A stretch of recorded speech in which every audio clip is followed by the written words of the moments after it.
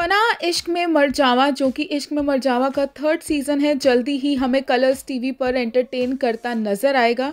Show में जैन इमाम और रीम शेख नज़र आने वाले हैं और इनके साथ अक्षत सुखीजा भी नज़र आएँगे, ये हम आपको बता चुके हैं।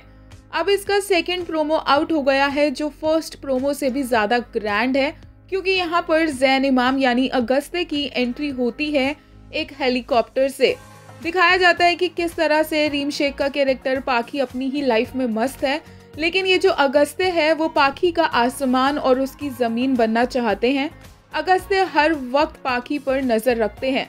आगे प्रोमो में दिखाया जाता है कि पाखी से एक लड़का बात करता है और वो उसे बोलता है कि मैं आपको ड्रॉप कर दूँगा। और ये बात अगस्ते को पता चल जाती है क्योंकि वो पाखी के हर मूवमेंट पर नज़र रखता है, जिसके बाद वो उस बंदे को उसकी बाइक के साथ ही जला देता है। यहाँ से पता चलता है कि अगस्त्य का जो पाखी के लिए प्यार है, वो प्यार की हद को पार करके ऑब्सेशन तक पहुँच चुका है और जो पाखी के लिए बिल्कुल भी ठीक नहीं होगा।